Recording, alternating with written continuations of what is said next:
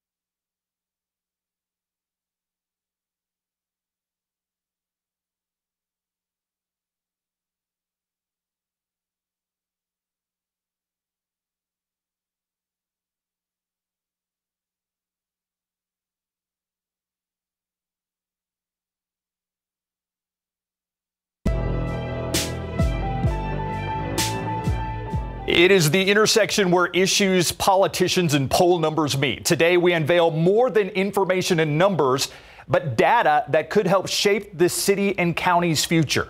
So, what are we waiting for? From this intersection, let's see where the bare facts lead. Welcome to our first ever Bexar Facts KSAT Rivard Report poll, our reveal show. If you're a numbers geek, we've got your fix. I want to thank the audience who is with us. We have 10 distinguished members of the community who are with us. They are welcome to answer questions later, but let's meet our panel, the people I call the Facts Brain Trust. First, DeMonte Alexander, who is with Facts, Lisa Baratachea, who is with Facts, and Christian Archer with Facts. Thank you guys for being here. Absolutely. So we're going to open this discussion. We're going to talk about a lot of different things, but first off, I want to hear from the man who put this poll together over the last few days, Dave Metz with FM3 Strategies.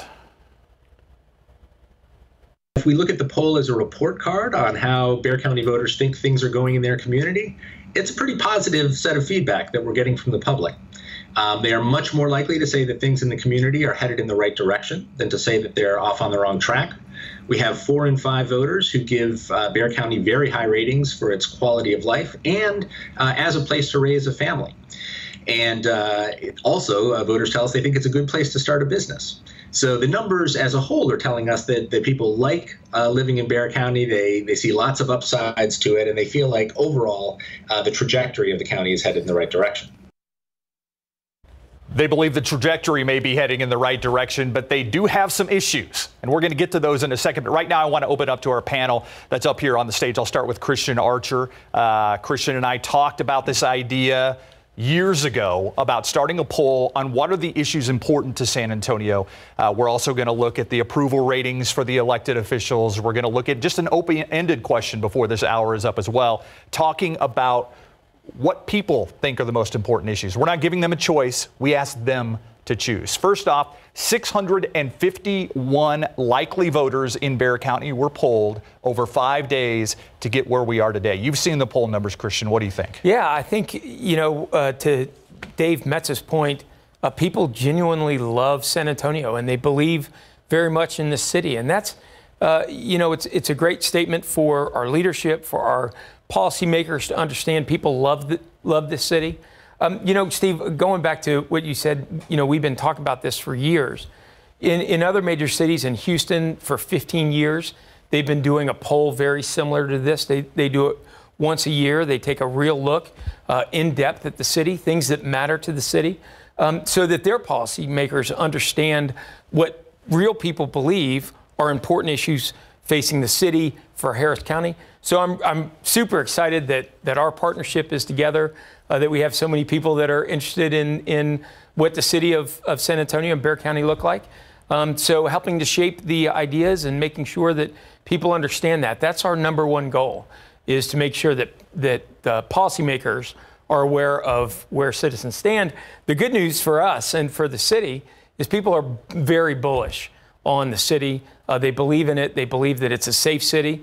Um, but there are some concerns for sure that, that we did take a deep dive into. Yeah. Lisa, your take from the numbers. I see you have a, a thick notebook on your lap here. Uh, I don't know if you want to reference a cross section in there or, I mean, just the overall thought on the poll. Yeah, I'm going to be busy looking stuff up as we chat. But I, I think that, you know, in terms of it was positive. I'm not surprised that people are so happy about where they live or where they call home. I do think that there are some issues that um, have been identified. I think that the reinforcement of people, while they might be happy, it's not it's not where we are going to stay. We're not going to be happy with the status quo. We certainly want people to address issues. Um, I think this gives us a tool and a reference point of what the issues are that they want to, to address, and really a roadmap, a blueprint, if you will, of the way to, to go about um, managing them. Right, because this is the first of four that we're going to do this year. So we're going to see this is the baseline. This is where we start from. Demonte, your take from the poll you've seen. Man, I, I was really surprised um, to see, well, happy to see that our, our public utility companies did very well. And, and it speaks to the education and outreach they do to the communities and to the taxpayers. I mean, give CPS Energy the People's Choice Award because, you know, they had the highest uh, award, um, percentage point for, um, for their job approval. Yeah. But overall, I'm just very happy to see um, that San Antonio is a compassionate city, like, like, you know, most people say we are. Um, I, like like my colleagues here said, that I feel that there is a lot of issues, obviously, that are addressed with crime, drugs, gangs, and you know, um, homelessness and those types of things. But for the most part, people are willing to give uh, our local government uh, an opportunity and a chance to, to address those All issues. Right, yeah. let's get right to the poll, shall we? I want to start with the two most prominent uh, elected officials that we have in Bexar County. That is Mayor Ron Nirenberg and County Judge Nelson Wolff. And as we look at those approval numbers in front of us, let's start with Judge Wolff. 23% strongly favorable, 31% uh, somewhat favorable. He's got 54% total favorable, 16% total unfavorable. The mayor just came off a bruising reelection. We were very curious about what this poll would show. 22% strongly in favor, 31% somewhat favorable, for a 53% favorable, 31% unfavorable. Surprised by these numbers, Christian? Well, the truth is, I'm, I'm surprised that the mayor rebounded as quickly as he did after a, a tough, tough election against Greg Brockhouse, where they, they spent a lot of money and time and energy and effort beating each other up. Um, you know, for the mayor to have 31% uh, people um, opposed to the mayor or view him unfavorably, he's got work to do for sure. Um, his approval rating being over 50 was a little bit of a surprise after that race, as, as close as it was. Um, so I think that for Ron, I think that he looks up and says that's good news. When it comes to the county judge, um, you know, having a four to one approval to disapproval is certainly an endorsement of his legacy of work. Yeah, but I mean, I look at that 30. I look at the uh, 31% total unfavorable on Ron Nirenberg. Is that a concern for him? Do you think, Lisa?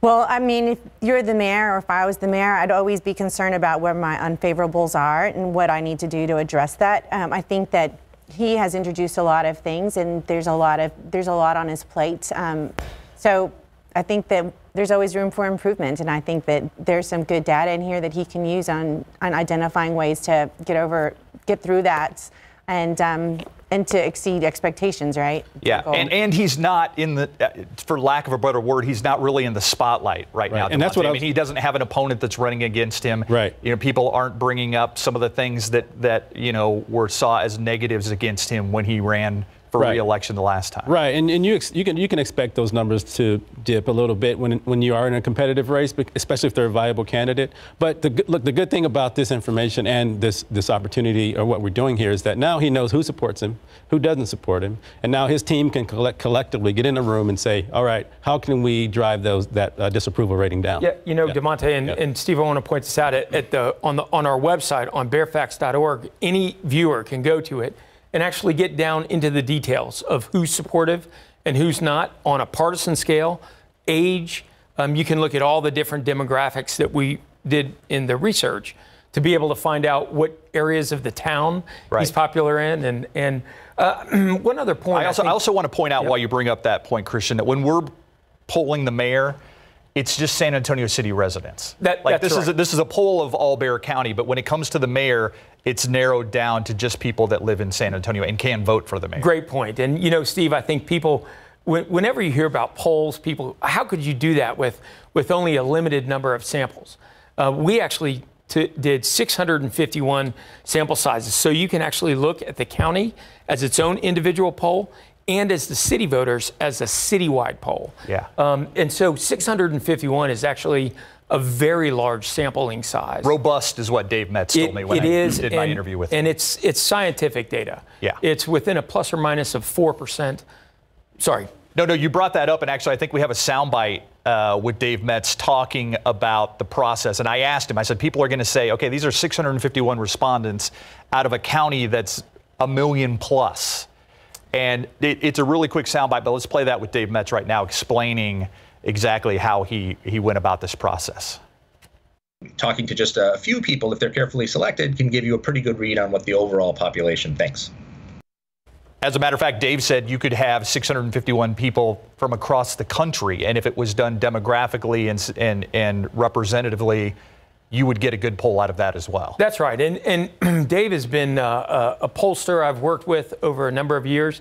He was the pollster on the Pre-K for SA campaign, and we we polled it twice. It never once polled that it was passing, but it showed the momentum that was gathering behind Pre-K for SA. Yeah. Um, and so we were able to use that data to be able to talk to people about things that mattered, about the importance of pre-K, and actually end up ended up obviously winning the campaign. Let, us move on to the job approval ratings uh, for some of the elected officials that we have as well. I think we can bring that graphic up next. But uh, uh, Lisa, I mean, you were, you were shaking your head as Christian was talking. What do you, what do you think?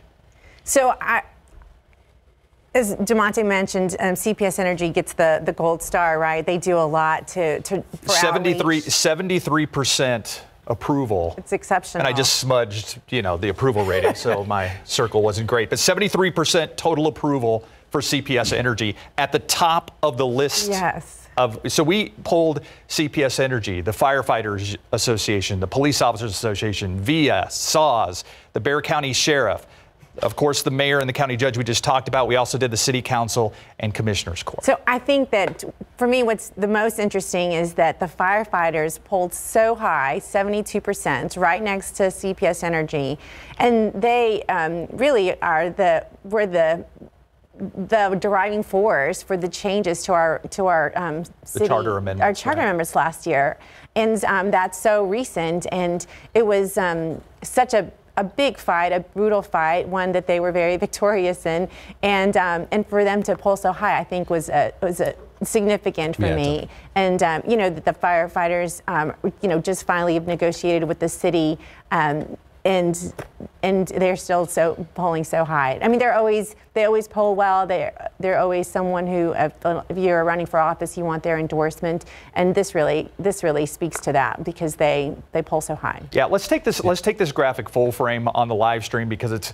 I want to make sure people are seeing exactly what we're talking about. And of course, you can follow on bexarfacts.org or ksat.com or the Rivard Report, where all those uh, all these things are are are listed. Demonte. Yeah, I just wanted to add to that, and and that's it. Just shows that you know most people you can't decipher uh, an associ- uh, firefighter association from firefighters. So when you hear that question, do you support firefighters or the firefighter association, you you automatically tie them together. So and I, I think that attributes to that number a little bit, but I mean kudos to them, and it and it, and it shows how tough that campaign was. Yeah. I think they were even polling higher than that at that time. It, it was it, that that was another tough campaign, which is why I think the mayor's the the disapproval actually goes back to the to the campaign, the Go Vote No campaign against the charter amendments.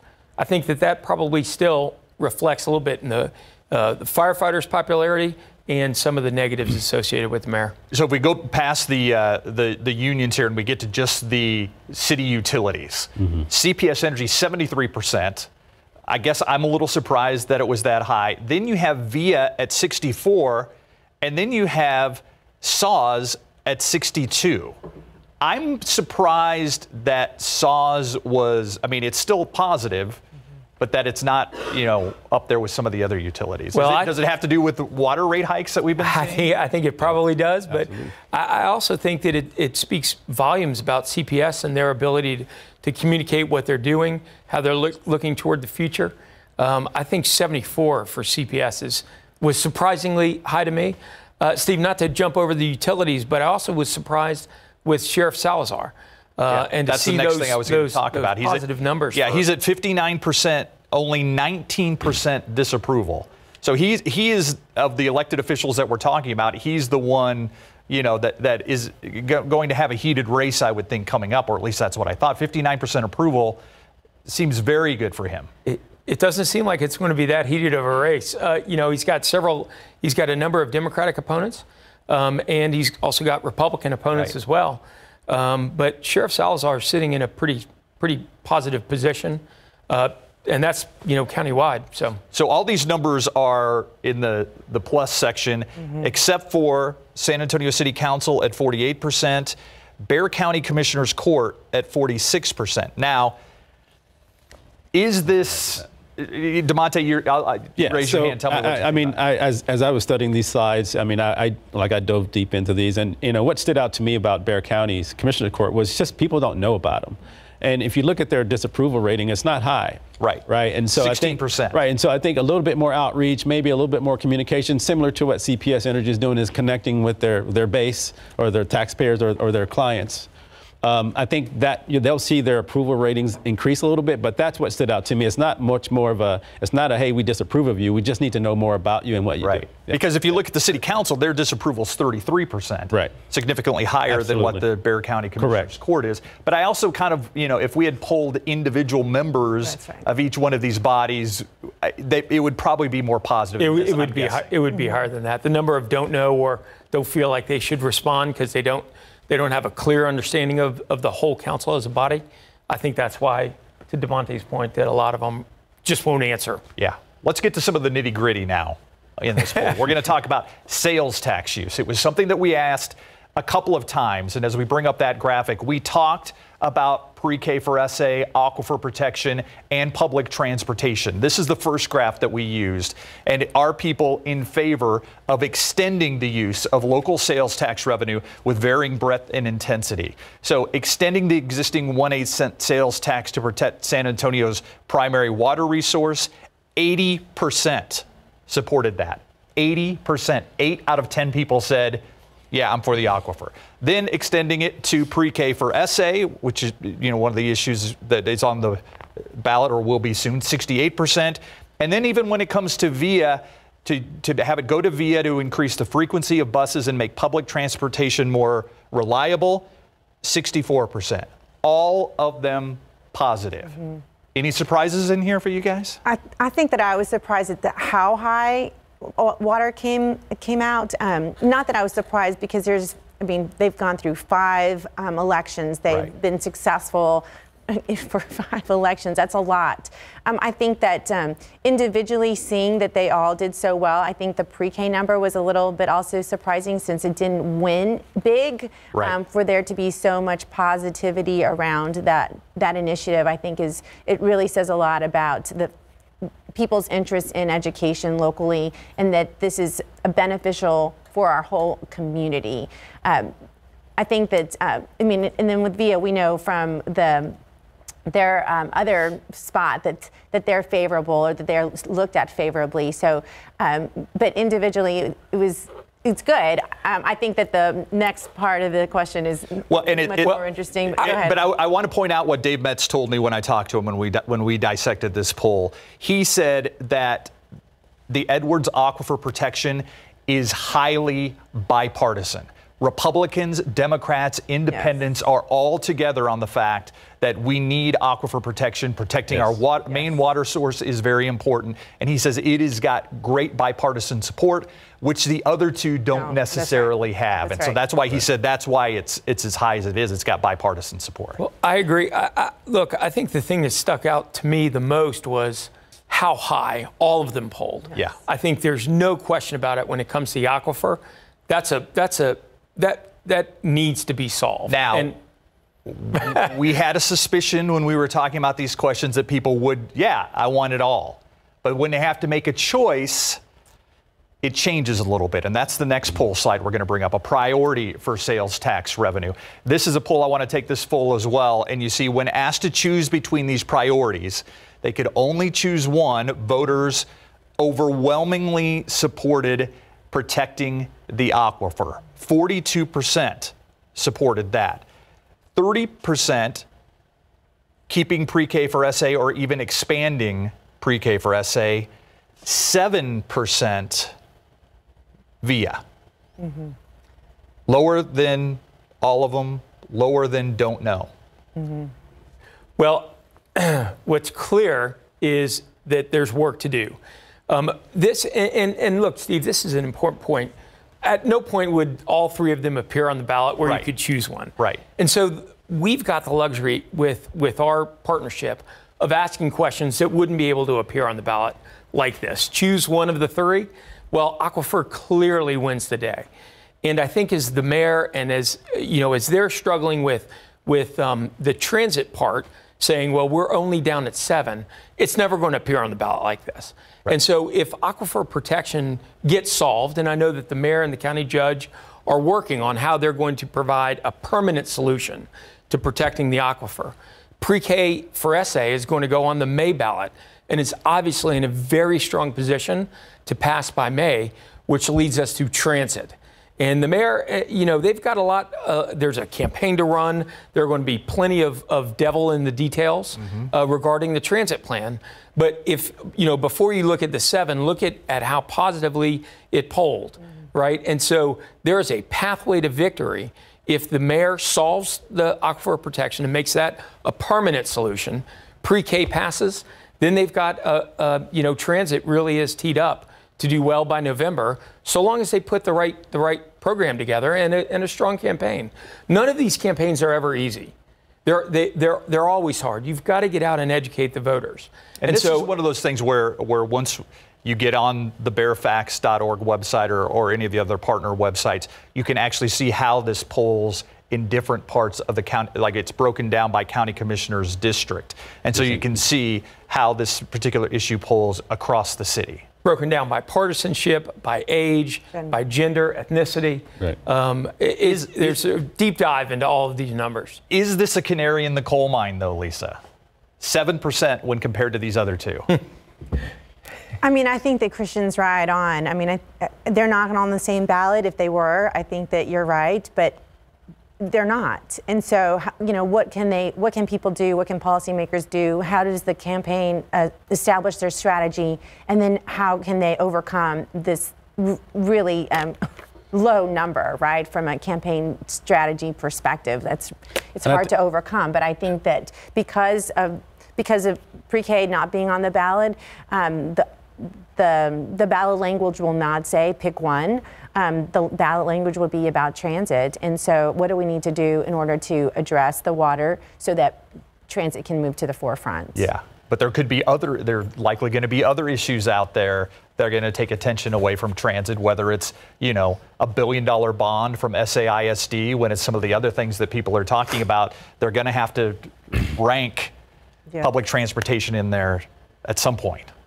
And, and, and, really, that I mean, from a strategy perspective, um, we, have all worked on campaigns. I mean, that's what the campaign's all about. What the, what's the messaging? Where where's the message resonate? Who are your voters? How how are we going to reach the people who vote?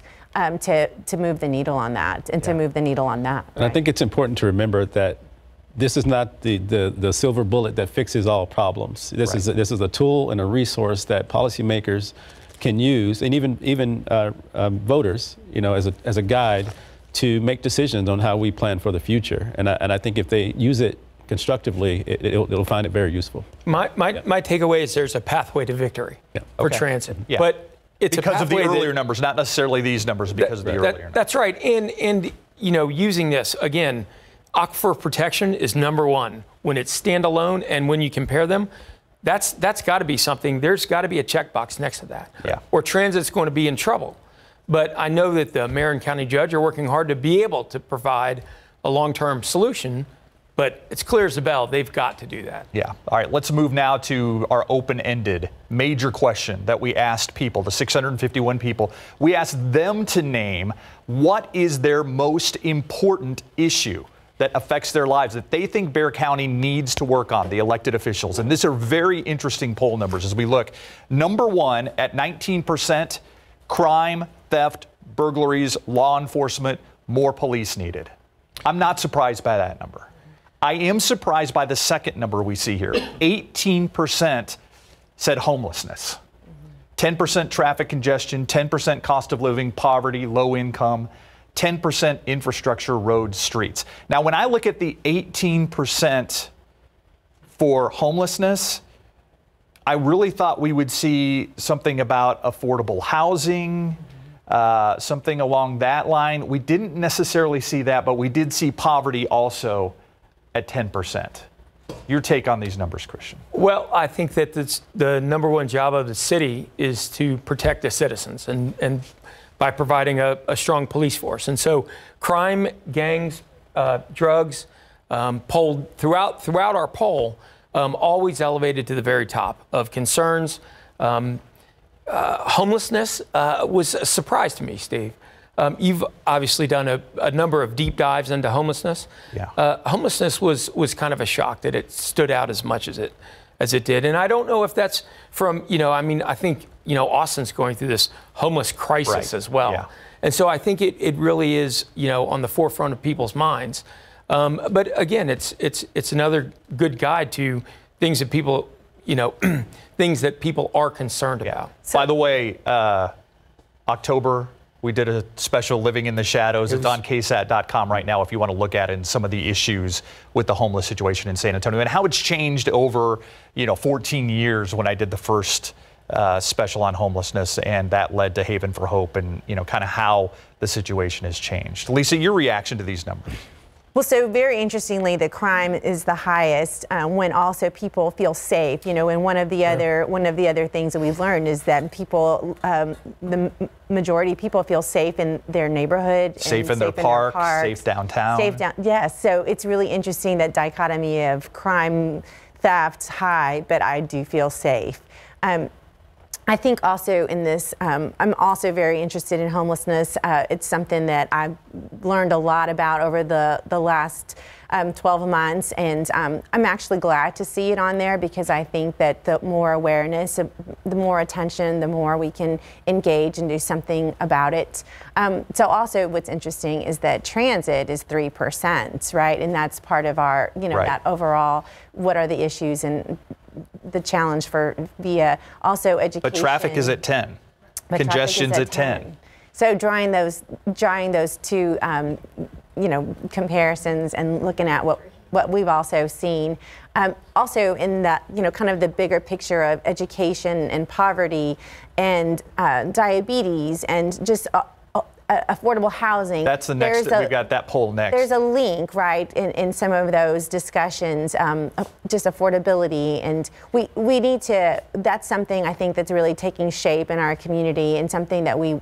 I think that is a really interesting public policy conversation to to pursue. And I think in, in talking with Dave Metz, uh, I asked him specifically about the homelessness question. He said he wasn't that surprised because in places in he polls, yeah, and especially on the West Coast, homelessness is a big concern. So he, he, he said he wasn't really that surprised that it, that it rose as high as it did mm-hmm. in our Bexar County poll. I think Lisa answered every one of those on that slide. yeah, know, she went down them all. But, uh, but, but, so, so the next the next slide we have is the other serious issues question. We ask people, you know, what else they're concerned about. Ask to identify major local concerns, but then we go to the next slide two thirds or more rate homelessness, diabetes, and crime as serious local problems. So this one wasn't open ended. This one we asked them to talk about the different things that they see out there. Extremely, very serious problem homelessness, 72%. The number of residents who have or are at risk for diabetes, 67%. Crimes, gangs, drugs, this goes down to the third spot on this one now, 66%. The cost of health care, 64%. Property crime, 63%. The amount you pay in local property taxes, 57%. Low wages, 53. The quality of public education, 52. Income inequality, 51. Rate increases on your water bill, 48. Illegal immigration, 44. Climate change, 42. And lack of affordable housing, 41. That's what I was talking about. How you yeah. would think homelessness and lack of affordable housing may go together, but not necessarily. I, right. I, I mean, in what I've learned about homelessness a lot of times it's mental health problems that there's not a safety net in this mm-hmm. city well, and county and addiction. Yeah, well, there's there's that coupled with a lot of times these people are just their families are obliterated, like they don't have families, you know. So there's a lot of different um, uh, things that happen that cause someone to be homeless and that tie into that. And it's going to take a collective approach to do that. But what I wanted to highlight was, you know, we've had a lot of conversations about education. Yes. And these past couple of legislative sessions where it's been high profile, and it's just surprising to me how low it falls on the um, down on, on the on the list of priorities here. But could that speak to maybe voters feel like the legislature did something this time, you know? But even more so, climate change. We have a huge, huge push for climate change. And if you look at the across the slate, um, people don't feel it's a problem here in Bexar County, even young people between the ages of 18 and 29. It's staggering. It's over 60% feel Yeah. that it's not an issue. So, not to say, you know, that I'm, that's a stance we're taking, but it's just polarizing to see numbers that way. Yeah. Christian, you you surprised at any of these things? Yeah, I was surprised by the lack of affordable housing. You know, the mayor's got an affordable Right. housing It's task thing that he's force. been It's talking a lot about. It's been, you know, top of the mind for city council and for the mayor. Um, and to see it, you know, that it wasn't a major concern was really stood out to me. I, I, again, some of these some of these things are always in every city in America. You're going to see homelessness and you're going to see crime and things that cities are supposed to be focused on. You know, so people are kind of programmed to answer it that way as well. Um, but some of the, the lower numbers really did stand out to me. I thought climate change would be a bigger issue. I, I thought affordable housing uh, would be a bigger issue. So those were the two that really stuck out to me. Yeah, yeah, and, and, you know, we. I guess I'm heartened because we have given some attention to homelessness, and we certainly give a lot of attention to diabetes and, and fighting diabetes and things like that in our community. There's part of me that's happy to see that what we're hitting on Yeah. as the media seems to be some of the same concerns there. All right, I want to open it up to our guests who are with us and uh, uh, kind of let them answer questions or ask you guys questions or talk about what they saw in this poll. Um, I think this thing's on. It is on. All right, so who wants to go first? yes, in back. I'll let you introduce yourself and then uh, ask the question. Okay. Hi, uh, Marcy Trevino Ripper, and um, I have a small law firm locally and a political consulting firm. And um, my question's about the 7% VIA. So only 5% of citizens ride VIA. So to me, the 7% was not that surprising when you're being asked to choose between water, which we all touch, and, a, and a, an entity or a, or a service that we don't all touch on. Um, so did, was that surprising or not to you with that, uh, with the 5% VIA ridership? Well, I'll, I'll, I'll take that. I, yeah, it, it, it really was surprising. I thought it would I thought it'd be higher. Clearly, the mayor's been focused on it. It's his number one top priority, um, and to see it, you know, the seven percent I think is a little bit misleading. When it's a standalone question, it ranks very high. And if there were, if if I were running that campaign, starting off with 64 percent support for dedicating an eighth of a cent to um, help solve transit. Um, and we used VIA, we used buses, we used, you know, all of those kind of catchwords, which might turn someone off. Um, you know, to see it at 64%, that's a strong number going into this election when they haven't done a campaign. They haven't put out messaging. It's just been kind of, you know, where, where's it going to come down? So, but when you compare it to the other two, Marcy, to your point, um, aquifer, aquifer, aquifer, get that problem solved so that we don't have to go to the go to the ballot box every five years to vote on whether or not we want to protect the aquifer. There is unequivocally no doubt about it. Everyone, to Steve's point earlier regarding Republicans and Democrats, we want this solved. We want this behind us. Um, so that we're not having to vote on whether or not we protect the aquifer every five years. Make it a permanent solution. I, I, let me play devil's advocate here for a second because I think you did make a good point. Only 5% of the population ride via right now. I, and I, and I saw light rail was we we pulled light rail and it was down there as well. But I mean, is there a way to expand the way Via is selling this? I mean, because I, right now, if I'm running against this, I'm just going to say, why are we paying for more buses? Well, I, That note that only five percent of people are going to ride.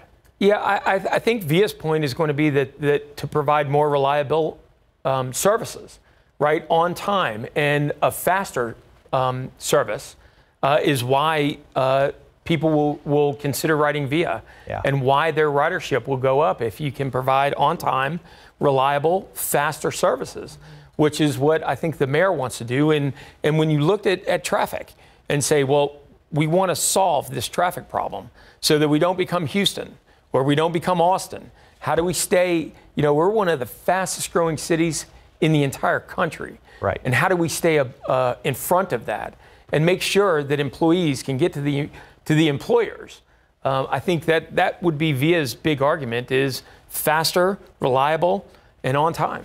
And Lisa, I will take the other side of the coin since that's what I like to do in, the, in all of these things. So nobody can really tell what I feel personally. But I mean, VIA is right now, as we speak, not being funded as well as some of the other major transportation companies in other cities. Right. So that's a it's a huge challenge for VIA. They get half a penny, whereas other communities in Texas get a full a full penny to support their transit system, and it really puts them in a in a real in a huge disadvantage. Um, this the funding from the eighth of a cent absolutely doesn't make them whole. It gives them more opportunity to to advance what they're already doing. Um, they need more money to operate because we are a large city and there needs to be investment in developing their operations so that they can become more reliable, so that they can uh, create more reliability and the opportunity for more ridership. Um, but if, if there's not an investment in what they are able to do, then they're never going to get better and do more because they're so stifled by their revenue. And I think that's one of the things that you know we'll hear about more in the campaign is that they'll be able to do more with more investment. Um, other communities are uh, have. Um, billions of dollars that are going towards bonds to um, towards their to, to build up their their um, transit systems and and uh, within San Antonio we're just trying to figure out how to pay for operations Right. and so I think that that I, I think that that's where you wanted me to to touch a little bit on but I, I you know from an employer stand standpoint people need their employees to be able to get to work. Um, and this, the conversation about um, From a business uh, standpoint, from a right, Right. from a business standpoint. So how can we help people get to work um, when we're not providing reliable transportation? Um, the, the workforce and, and low unemployment creates a demand for businesses to hire, and there's a challenge with getting people to work um, in downtown and everywhere. But you know, it, it costs money to park downtown, and transit and via is a very uh, real, you know, need. And so um, it's it's a smart um, investment for our community that um, that we see. It, is it real? Is you know in a demand and a real need? And then, you know, not to compare us to Houston, but Houston's getting ready to do a multiple billion dollar bond just dealing with transit.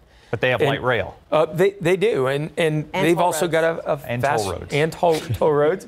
And so, what, are- what are the opportunities for VIA to be able to expand? Where do they look for more revenue? And so, I think that, that this is a first. This is the first start. Okay, I'm going to open it up to the floor. Can I ask a follow-up question? Yes, absolutely. Um, so on the, oh, my name is Blakely Fernandez. Hi, and I'm a Blakely. Um, on the 7% slide, the language that was used was public transit, whereas on the, um, the slide for favorability showing the various entities in town, it was listed specifically as VIA. Do you think the 7% would be higher if the language had used VIA and not public transit generally? I mean, I, I appreciate there's not another provider, but I wonder if VIA is a is an entity might have helped that question. More positive. Right. Yeah. Yeah, I, I think it's a fair question, and, and um, maybe on poll two, Blakely, we can, we can. In fact, on, on poll two, we've actually talked about doing a much deeper dive into the transit as we get more clarity from the mayor and from the people at Connect SA about what they're looking to spend the eighth of a cent on. I think that we need more clarity. The, the truth is, we were a little bit hamstrung by not being able to go into the, the details on being able to describe that, that question. So we tried to do it in a, in a broad view, um, which might have actually heard. It might be why that number is so low, is because we weren't able to describe it with a lot of specificity. Can I let me ask a question, and, and then this is for you, Demonte. If if somebody is looking at these questions and say, "Man, I wish they would have called me. I wish I could have taken that poll." Am I correct that you can take the poll on bexarfacts.org? Uh, not yet. Okay, but you will be able to. But to. we will be able to. Uh, it won't be scientific, but we do want people to feel like they have a voice and they have a say in this as well. I know on your Twitter page you asked people Right. certain questions on Right. the Bearfa- and BexarFacts at BexarFacts is the Right. Twitter page, correct? Right, at BexarFacts. Yeah. I see. I'm. Yeah, and I'm so trying what- to help you out because your Yeah. communications. You know, I got your back here, man. So what, what, what we're trying to do here is, you know, obviously we shared the chart of right direction, wrong direction, and we saw that voters, you know, feel like we're going in the right direction. But that was from our scientific poll. Right. But uh, as far as social media, you want to engage. You want people to feel like they're involved too, and you want them to participate. So I just put a poll up and said, hey, what do you guys think? You know, because that's important, and that's going to be a big part of this. For all these initiatives, especially the ones that are on the ballot, we're going to need our entire community to get around them. And, and we can't do that without engaging them and educating them about what we're doing. and that's the most i'm just going to say from from my perspective uh, that's the most exciting thing about this poll is we're asking people their opinion they this Right. is really 651 people's voice. I mean this is Bexar County's voice. This isn't the mayor or the county judge or christian archer or myself. I mean this is where the data leads us what the people say is important. And you know we'll we'll see Right. What what you guys will see in the future is on if you go to our site bexarfacts.org, one of those features will be they'll be able to weigh in on those top line issues on their own. And so you'll be able to see it go up and down depending on who's visited the site and who's voted. And so although it won't be sci- scientific, it will give us a good idea, a good feel of how people feel about those issues outside of our traditional. well i hope it'll encourage people to be engaged in local government Absolutely, and that's what the, that's what this is all That's- about. that's- that's we want to boost civic engagement. We know our numbers are low when it comes to our elections, and so we hope this um, our data will will encourage other people to get involved and, and excite them about change it. getting maybe involved. learn some, learn Voice more about via and the public Voice it, change it. transportation. Voice it, change it. Right. Absolutely. Exactly. All right.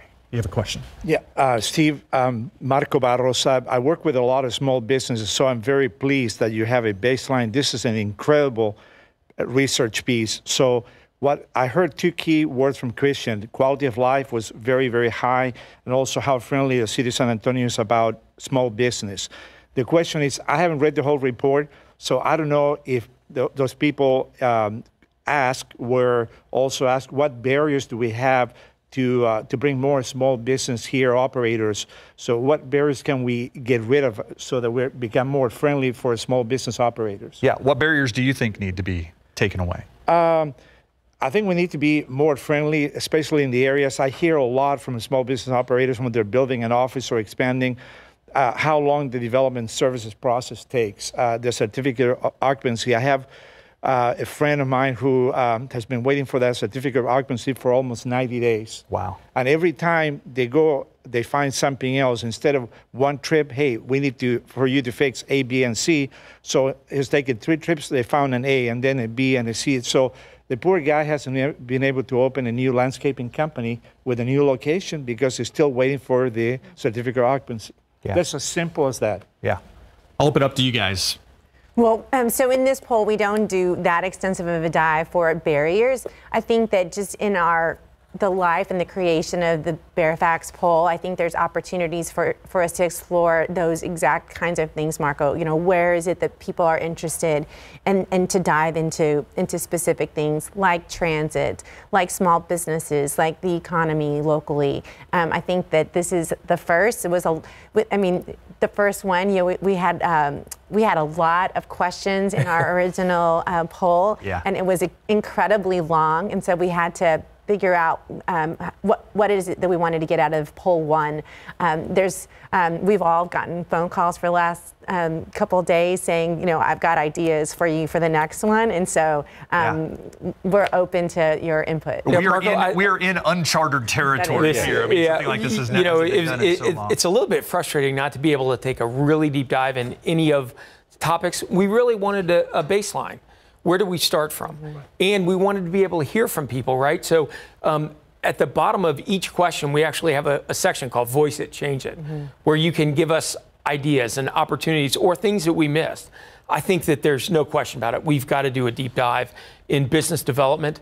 Uh, and how do we sustain our, our companies here? That There was a question the about roof. the business environment, like how do you think the business environment is Mm-hmm. in San Antonio? And I believe that was very positive. Right. But I'm curious too, that like how that broke down between, you know, Republicans, Independents, Democrats, and even different parts of the city as well. By the way, See- I, I love the name, so don't change the name. This is Don't- I love okay, tell Rick Casey that because he. yeah. Uh, but one, one other thing. So in the Houston poll, which I alluded to, that they do once a year, they asked um, a, a lot of really broad questions. Right, a lot of you know we, we want to stay out of kind of the head-to-head political battles and really focus on the future.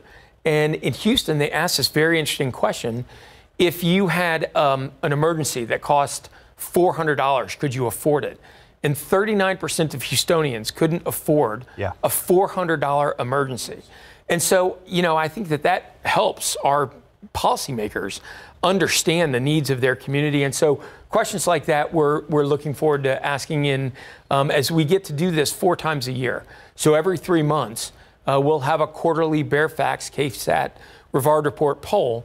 And so, we're definitely going to do a deeper dive in, in business development um, and sustainability. And I think that's one of the things we talked about too is being able to take some of the issues that we find in this and have a forum, kind of like what we're doing today, where we have business leaders and government people up on the stage and people that are in the audience can ask the questions based on what we're seeing in some of these polling. So I think that's down the road. I want to get to some questions Sure. uh, from people that are that are here right now. Introduce yourself.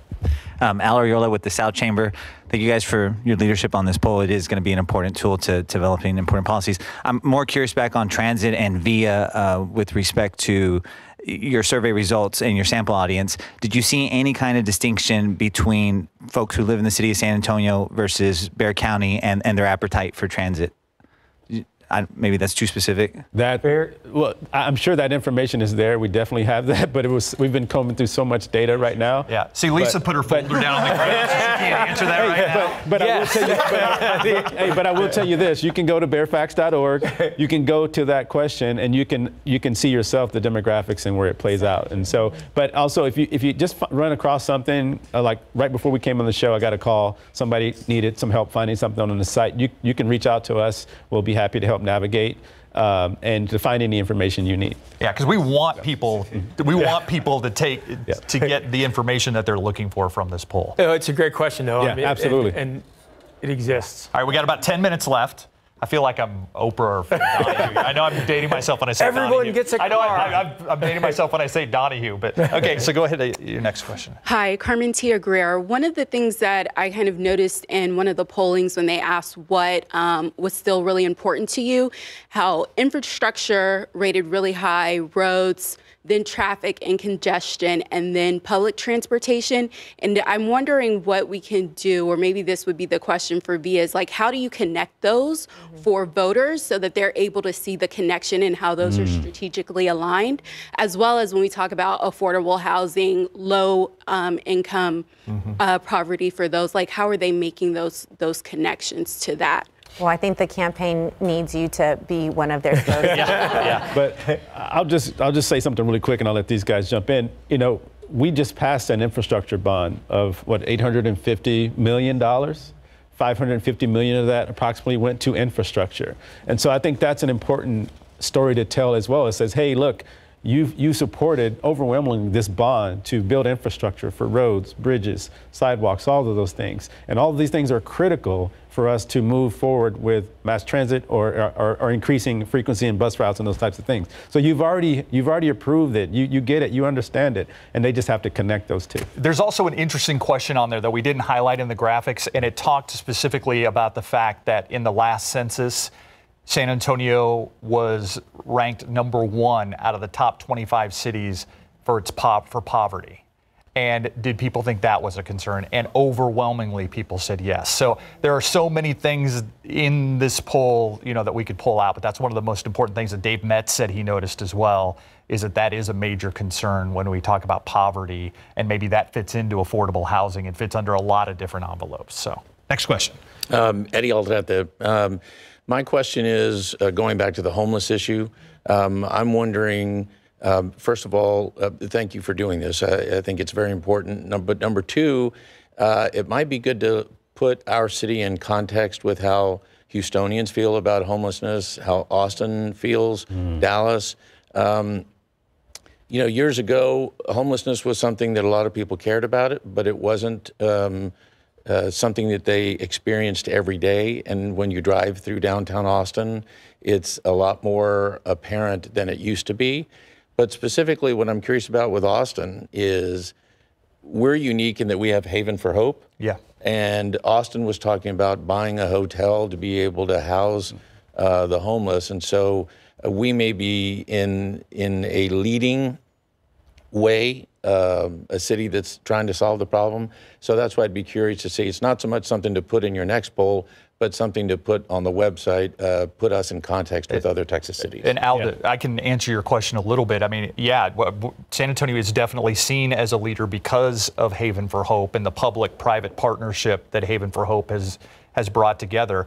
Also, I think the situation in San Antonio has changed. It used to be if you went downtown San Antonio, you saw a homelessness problem. Well, now it's kind of spread and maybe spread into more people's neighborhoods. You know, we found, you know, 1604 uh, out by SeaWorld. We found, you know, Alamo Heights. Okay. I mean, you know, it, it's it seems as if this issue is more spread across the county and even outside of the county in places like Boerne than it was maybe 14 years ago. But I think I think that's a good a great question is how does it compare to Austin and Houston and some of those other communities. And I think crime is the same way, where it's now in neighborhoods that mm-hmm. it may not have been previously. Yeah. That's a great question. Can I give Can I give your employer a plug here? Can I sure. say you're from IBC? okay, I just want to make sure you weren't incognito no, no, here. No, so, all right, all right, all right. It's, right I just, it's your it's your opportunity. You know, free free advertising isn't a bad thing. So, but I'll, I'll open it up to the panel when it comes to the question of homelessness too. I'll let you guys take a dab. Go. Go. Uh, well, you know, look, I've, Eddie, thank you one for the for the, the the question. I you know I think that we like to think of ourselves as leaders when it comes to homelessness. I was uh, working for Mayor Hardberger when the idea of Haven for Hope came up. And, you know, to watch community leaders and our civic leaders come together to really try and think about the long range um, view of homelessness and try to get to a solutions based um, uh, answer. Uh, I think that that's what you find with Haven for Hope. I, again, I think it's, um, if you were to compare us to Austin, I think we are, you know, uh, just so much better uh, in dealing with how do you get to solutions for people that are homeless. But you know, to Steve's point, with uh, uh, uh mental health issues, yeah. Uh, I think is and another addiction. is another major hurdle that we've got to overcome. And that as long as our city leaders continue to try and advance the ball, the the idea Haven for Hope is now coming up on.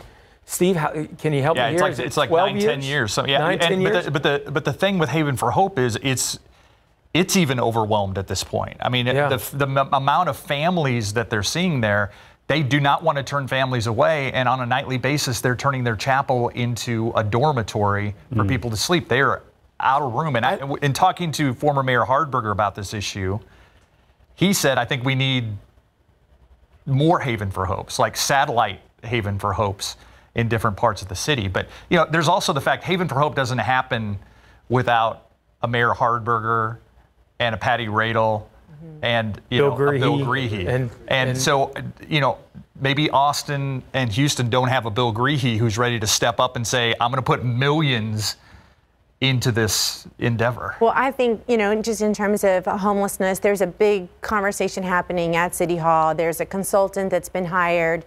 Um, the report from the consultant is supposed to be published in right. March. Um, and the idea behind bringing on the consultant was to help us kind of like, like taking it to the next level. So, what we've heard from him so far is that you know, we're doing really well and we do things a lot better than, and we have a better circumstance than other communities because we have Haven as a resource and because there's a lot of other providers that assist Haven, right, that are not right. just at Haven. They're not, they're, they're in other parts of the community, which is definitely needed, right? We just talked about how it's in, in multiple places. And I think that that, that conversation is going to continue um, just philosophically, you know, housing first.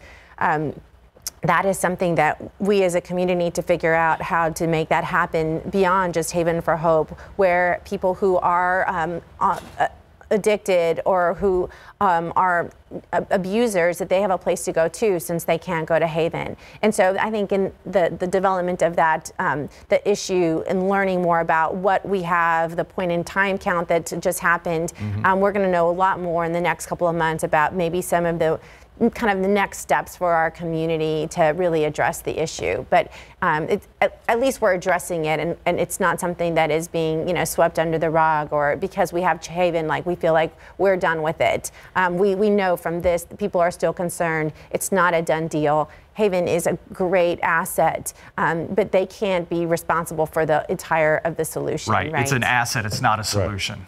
Right. Yeah, absolutely. Anybody else out here have a question? Yes, sir. Jim Campbell. So back to, I'm Jim Campbell, by the way. Hi, Jim. Back to a process uh, for just a second. Um, and this is in the weeds. I apologize, but I know you'll have the answer. so, so, we're looking at pre-K for SA as a May election, as, as I've heard. Mm-hmm. And, but the transit would be in November. Do you adjust your sampling according to which election it's going to be? Because obviously you've got twice the turnout in November. Mm-hmm that you would have in a May election? Jim, fair question. And, and the truth of the matter is no. Our, our poll results are based on November and what the projection is for November. So th- this is based on November uh, likely voters. Um, but at the same time, I think when you break out pre K for SA, polling as high as it did, um, it's very popular. I, I, I, have heard of other polls that pre K has done that, that kind of parallels um, in the research that we found. Uh, it, but but I, I, I, think that with the strength from our poll and the other polls, that it only makes sense for pre-K to go in May because it's a standalone issue. Um, uh, the one one of the reasons why I would argue for pre-K going in May, and I've been a big supporter of it and ran the first campaign. Um, in May, you're going to get more informed voters, not less informed voters. In November, you have people that show up to vote for the president and they'll work their way down the ballot and maybe they won't understand the you know the the complexities of pre-K for SA. But in May, these are city voters. These are hardcore voters. And they're going to understand pre-K at a higher level and I think the numbers would actually be better. All right, I think we're going to have to wrap it up because we wanted to get this out of, done by 3:30. I want to thank the people who are out here. I'll call you the audience, but you're really you're really very well educated. You had great questions. Thank you for joining us for this. And of course, the panel, DeMonte, Lisa, Christian, Thanks for joining us. And all of you who are watching at home, I want to thank you as well for live streaming. And of course, this will live on ksat.com, on bexarfacts.org, maybe even on the rivardreport.com before it's all said and done. But yeah. the results are out there. The leaders seem to be paying attention. So let's voice it, change it. I'm Steve Spriester. Thanks for joining us for this KSAT live stream. Awesome. We survived.